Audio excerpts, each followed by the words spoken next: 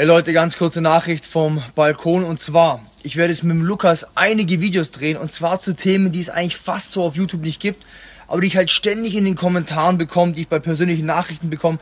Handgelenksbeschwerden, Schulterbeschwerden, Nackenbeschwerden, Flexibilität, Funktionalität und das kommt jetzt nach und nach hier mit dem Experten, mit dem Lukas. Checkt das Video ab, viel mehr mit ihm.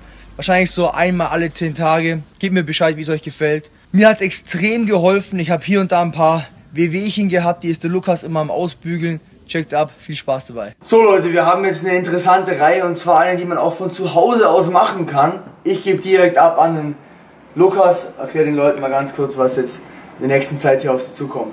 Genau, wir gehen jetzt Gelenk für Gelenk durch und machen dort immer drei Übungen. Drei Übungen, die man sowohl zur Rehabilitation nutzen kann, als auch zur Prävention. Das heißt, man kann diese Übung vor dem Training machen, wenn man mal irgendwie vielleicht Nackenverspannung hat oder man kann die Übung machen, wenn man einfach ein längeres chronisches Problem hat, wie zum Beispiel im Knie, Knieschmerzen.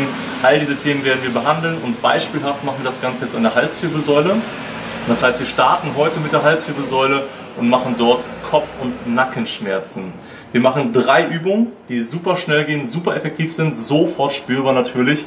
Und genau, ich würde einfach sagen, das kann man mit dir am besten zeigen, weil wenig Haar, da kann man das einfach am besten zeigen. Also, der erste Punkt, den wir jetzt nämlich nehmen, ist in diesem Bereich. Hier ist der Schädel und da geht man einfach runter, man fällt praktisch in so eine Kuhle rein.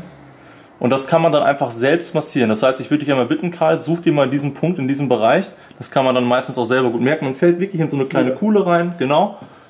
Und dann kann man dort kreisförmige Bewegungen machen und einfach massieren.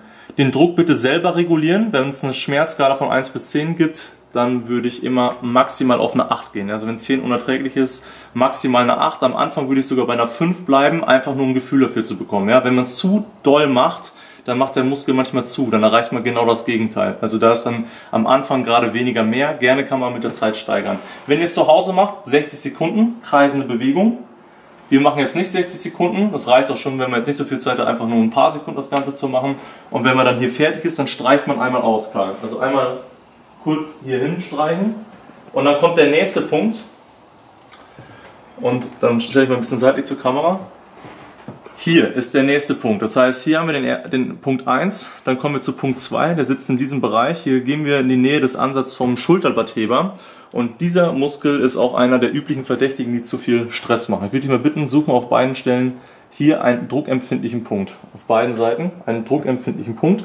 Und auch hier machen wir wieder kreisende Bewegungen. Du passt die Intensität an.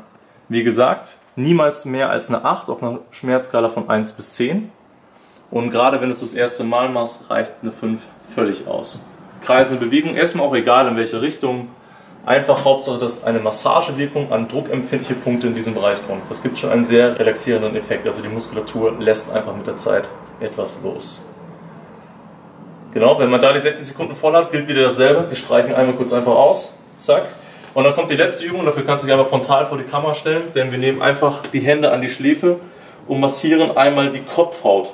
Das ist gegen Kopfschmerzen super gut, gerade wenn man die Schläfe noch so ein bisschen mitnimmt. Und da auch einfach wieder kreisende Bewegung. Da sieht man ein bisschen witzig bei aus, aber es, es hilft.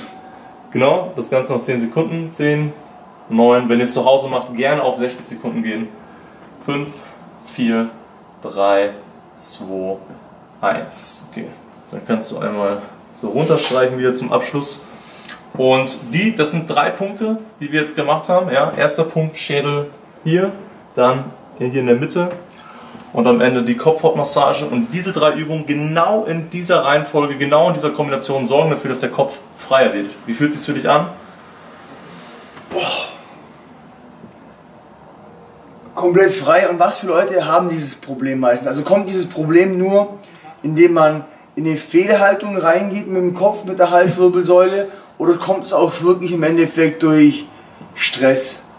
Also, das ist natürlich, ist diese Position am PC dafür prädestiniert, dass man hier äh, Beschwerden bekommt. Ja, das heißt, wir sind eigentlich alle davon betroffen, sowohl Studenten als auch Büroleute. Ja. Aber, und das ist ganz wichtig, es kann auch von Training kommen. Wer kennt es nicht? Einmal eine mini falsche Bewegung gemacht und dann eignet sich das vor dem Training. Ja? Also wenn man gerade so Nackenverspannung hat oder irgendwie Kopfschmerzen, eine Mattscheibe hat, irgendwie das Gefühl hat, so ey, man ist auch extrem unmotiviert, einfach mal diese Punkte machen, dann fühlt man sich freier, hat viel mehr Power und kann im Training richtig loslegen. Das weckt auch wirklich auf. Ja, genau. Also nach dem Aufstehen ja. wäre es auch sogar eine Variante.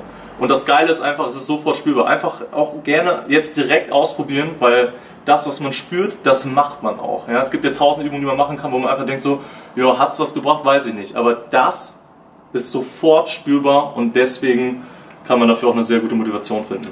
Wenn ihr mehr solche Sachen sehen wollt, Leute, einfach einen Daumen hoch geben, drunter kommentieren.